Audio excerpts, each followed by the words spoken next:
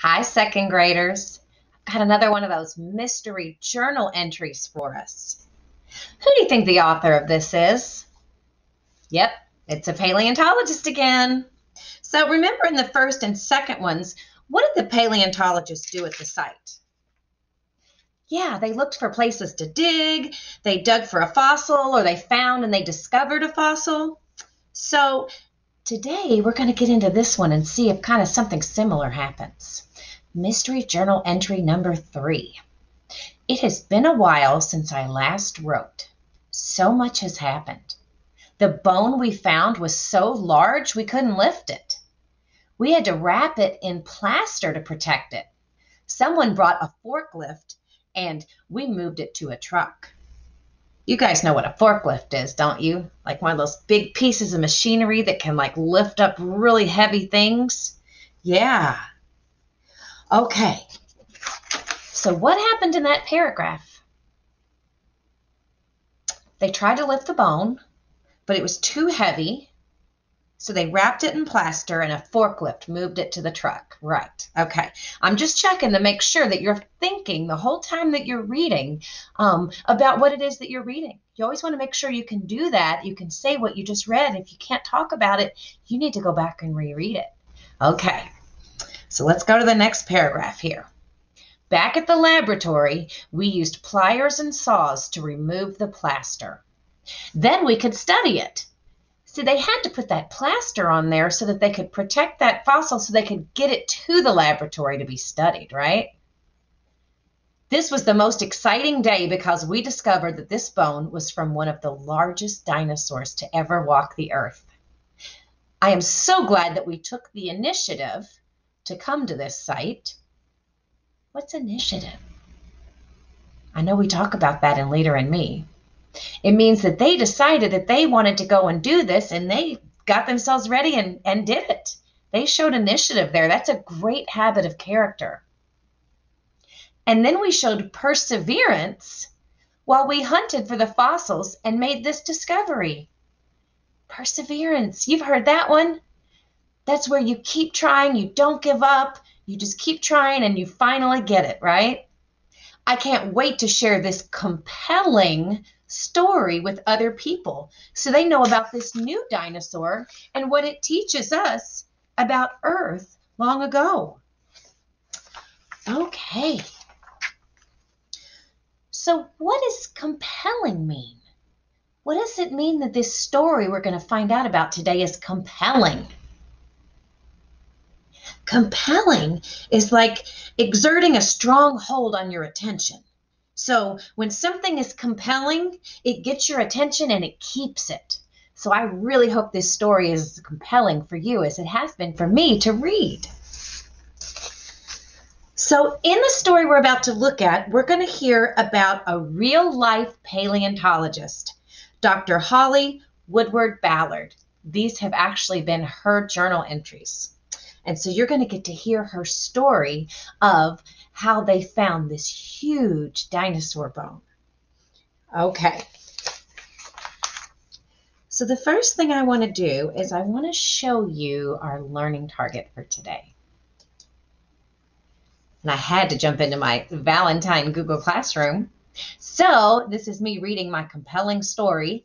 And I am able, after I read my story, I can describe the character's actions, thoughts, and feelings in the text, The Maiasaura Dig, the story of Dr. Holly Woodward Ballard.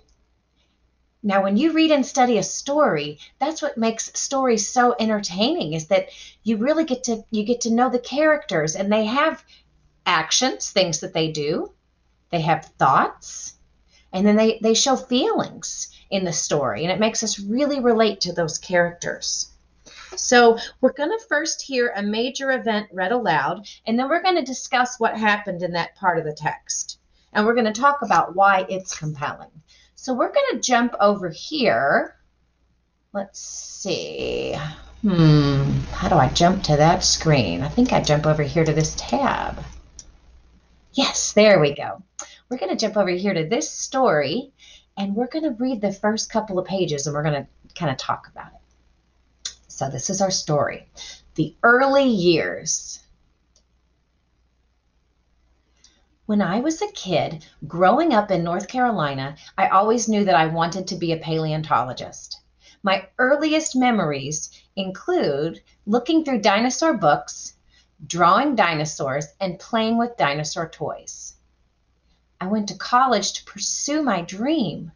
I studied geology, which is the study of rocks, and biology, which is the study of living things. Sorry, I didn't read that very fluently. She studied geology, which is the study of rocks, and biology, which is the study of living things. That sounds better, makes more sense. This helped me understand how extinct animals lived. So that's kind of her background. And this is a picture of her and we always look closely at the pictures, what's happening in there. She's using some tools that paleontologists use. She's got those brushes to brush the, the dirt and debris off the fossils. She must be at a site somewhere. And now let's read the caption. Dr. Holly Woodward Ballard using an awl, a brush, and a whisk broom to excavate Maiasaura bones. We were right. That's exactly what we thought we were seeing in the picture. Dr. Horner and the Maiasaura. One of my professors in college was a world famous paleontologist named Jack Horner. He is best known for his discovery of the Maiasaura. Maiasaura means good mother lizard. Let's look at that picture there. Dr. Jack Horner in 2018, close to Egg Mountain, surrounded by the Rocky Mountains. Okay. In Montana in the 1700s, Dr. Horner made an unusual discovery. He found the fossil remains of eggshells and adult and baby Maiasaura. This was the first evidence that at least some dinosaurs cared for their young. Dr. Horner's discovery helped people start thinking of dinosaurs as active, bird like animals instead of sluggish reptiles. Dr. Horner and his team also found eggs and embryos from other dinosaur species in the same field. This area came to be known as Egg Mountain. And then here's another picture, and then the caption bumped all the way down here the Maiasaura Field area in Montana, also known as Egg Mountain. And the photo comes from Dr. Woodward Ballard. That is beautiful. Wow. Okay, so what is making this text so far so compelling? How does it have such a strong hold uh, on our attention? Well, the pictures, the pictures are beautiful and they're keeping me entertained but I'm also really excited. I want to hear about this huge discovery they made. And now we know all of the background. We know where they were. They're, they're in near Montana in the Egg Mountain area.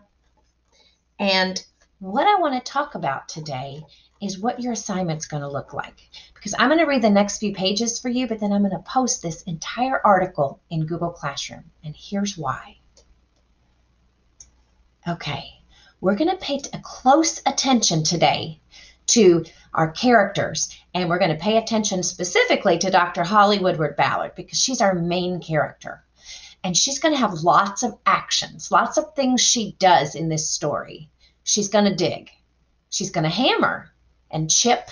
You know, when you chip away at something, she's going to excavate. Remember, that's when you get something out of the ground but she's also going to do things that like maybe aren't as big of, of an action. Like she's going to think. She's going to see. She's going to find. Maybe pick. Chisel. Now we're back to more using tools to have an action again. She might present or discover or just study or observe. So those are like quieter actions but they're still actions. She's still doing something She's going to have thoughts today, and she's going to share those thoughts with you in her story. She's going to say, hmm, I wonder. I know. I didn't know. Oh, I hope. And I'm surprised that. So she's going to share her thoughts with you, probably through things she says out loud, dialogue, and quotation marks. And then she's going to share her feelings with you today, too. She's going to say things like, I was surprised, I was disappointed or frustrated, I was happy, I was excited, or I'm tired, or I was exhausted. She might say those things to share her feelings with you. She might show you that she's feeling this way. Like if someone was feeling tired, they might say, I yawned and didn't know if I was going to be able to make it all that much farther. And that would show you that she's feeling tired. So we're going to be on the lookout for actions, thoughts, and feelings as we read today. And then when we get done reading, this is what your assignment will look like. You are going to fill in this graphic organizer. So we're going to be looking at, we've broken it up into beginning, middle, and end of the story. We want to know in the beginning of the story where she was and what tools she had. Easy. We can find those in the story, right? And just put them here and here. Now, when we look at her actions, though, we want to make sure we pay attention, close attention to what actions she took to discover the fossil, and then what did the fossil look like? Those details. Then we want to pay attention to her feelings when she finds the fossil. How did she feel? What did she think? And finally, we, in the end of the story, where they're closing up the story, I want to hear some more actions again. What did she do after she found the fossil? So you're going to write in one, two, three, four, five, six, seven places today. And a sentence is fine, just a sentence or two maybe, but you know, you know what to do. This here won't need a whole sentence. You can just say where she was. Okay, let's get back to that story. All right, the search for the tiniest bones.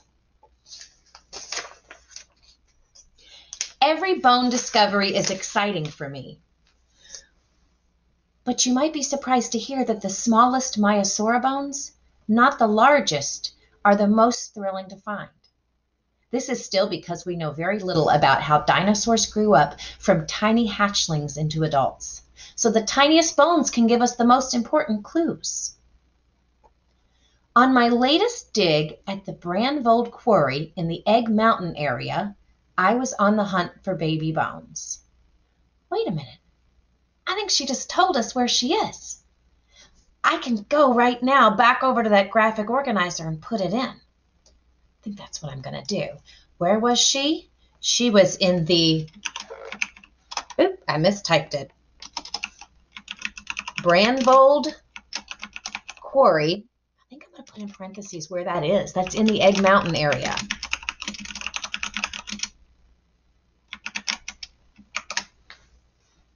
Okay, let's back to our story.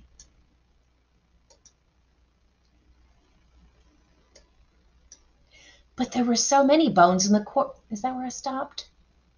Yes, but there were so many bones in the quarry. How would I find a tiny bone in the piles of large and broken bones?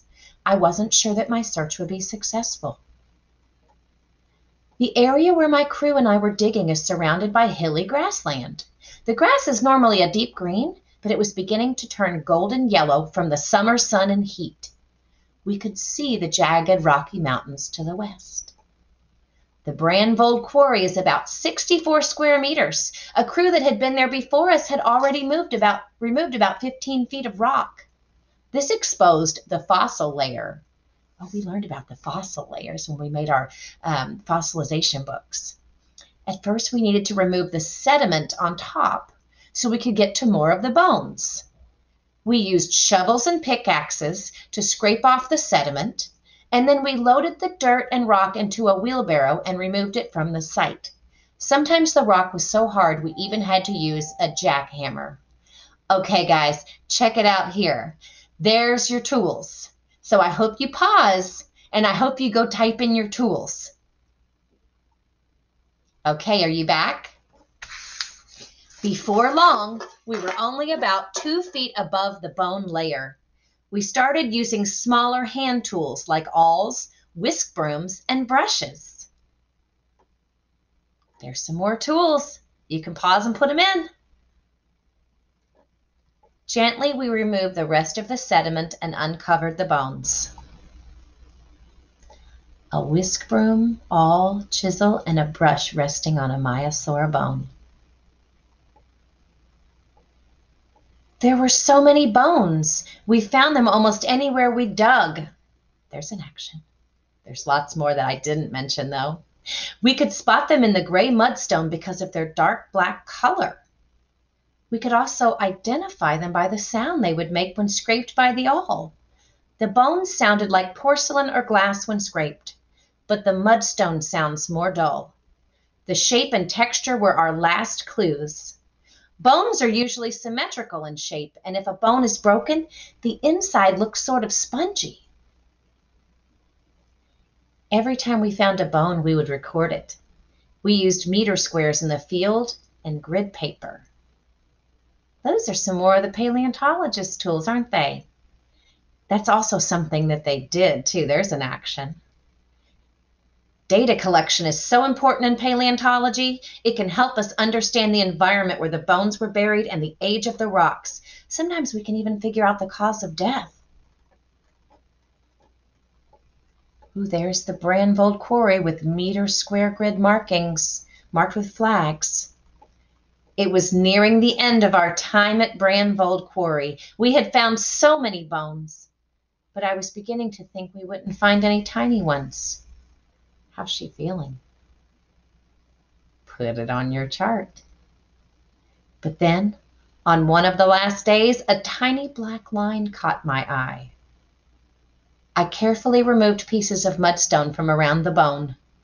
Then I gently brushed another action the bone's surface, applying a special glue to the bone as I went. Once the entire surface was uncovered, I could see that it was a tiny Maiasaura femur. The bone was only about 15 centimeters long. We know about centimeters from math. We know how long that is. 15 centimeters is about the same as about five and a half inches, and it's about the same as a pencil. So that's how long the bone was. At last, I had found my tiny bone. The Maiasaura femur was 15 centimeters long, or about 5.5 inches, which is a little shorter than a sharpened pencil. I recorded my find in the meter squares in the field and on grid paper. I couldn't wait to tell my team. How's she feeling? Put it on your chart. After the dig, I planned to take it back to my lab. I wanted to analyze the bones so I could learn more about the dinosaur's age and how fast it grew. At the end of the dig, my team and I were so excited about all of the Maiasaura bones we had found. We were the first human beings to uncover the remains of these awesome creatures from 76 million years ago. And I was especially thrilled to have finally found the tiny femur. What an incredible feeling! And here's the picture. Dr. Holly Woodward Ballard pointing at a tiny fossilized bone in the Maiasaura bone bed. There, there's that picture. Okay, guys. So you know what your job to do is today. Fill in that graphic organizer. You can type on the slide, you can print it and write on it. You can do it on a piece of paper. Doesn't matter. Just get it done, turn it in. Your article is also linked here so you can go back and look. And I will see you back tomorrow. See you later.